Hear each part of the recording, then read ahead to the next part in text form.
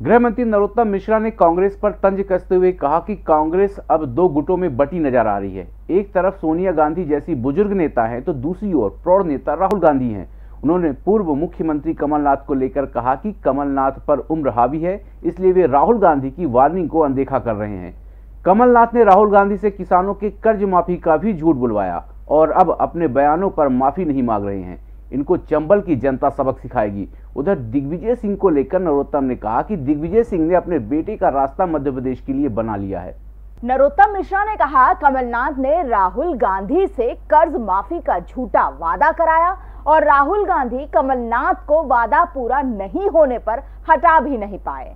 कमलनाथ राहुल गांधी की बातों को बहुत दिनों से अनदेखा कर रहे हैं। पहले वचन पत्र में उनका फ़ोटो नहीं लगाया फिर माफ़ी नहीं मांग रहे। लोकसभा चुनाव में भी कमलनाथ अपने बेटे नकुलनाथ को जिताने में लगे रहे। इमरती देवी पर जो अमर्यादित टिप्पणी कमलनाथ ने की है, उसका जवाब ग्वालियर चंबल की जनता चुनाव में देगी। उन्होंने कहा, जनता एक महिला का अपमान बर्दाश्त नहीं करेगी। कमलनाथ तीन तारीख के बाद दिल्ली जाएँगे। दरअसल अब कांग्रेस दो तरह की होती जा रही है। एक बुज़ुर्ग लोग हैं जिसमें माननीय राष्ट्रीय अध्यक्ष सोनिया जी हैं। दूसरे प्रौढ़ लोग हैं, जिनमें राहुल गांधी जी हैं। कमलनाथ जी लंबे समय से अनदेखा कर रहे हैं राहुल गांधी जी का।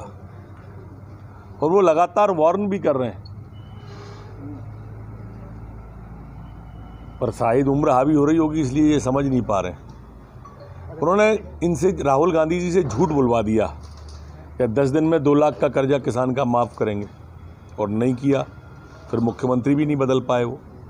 एक, दो ऐसे करके दस तक गिनती ही नहीं उसके बाद लोकसभा चुनाव की जब परिणाम आ गए, उसके बाद राहुल भैया ने कहा, बाबा ने, कि कमलनाथ जी नकुलनाथ को जिताने में ही लगे रहे। आप सबको भी ध्यान होगा। फिर अभी चुनावी घोषणा पत्र जारी किया तो उससे राहुल बाबा को आउट कर दिया कमलनाथ जी ने। ये चौथा वाक्य है।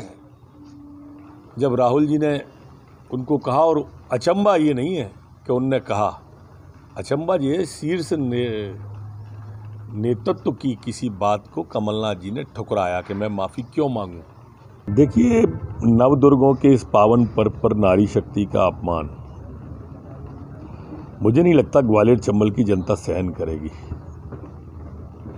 कमलनाथ जी अगर नहीं मांग रहे हैं ना तो अब जनता मंगवा देगी तीन तारीख को। संगीत की स्वर लहरियों से सांस्कृतिक ताने बाने तक चंबल के पीड़ों से नक्सलवादियों के गढ़ तक झोपड़ी से महलों तक ठेलों से मेलों तक पगडंडियों से सड़कों तक गाँव से शहरों तक व्यापार से उद्योगों तक। राजनीति से कूटनीति तक। दखन न्यूज़। आपके हक।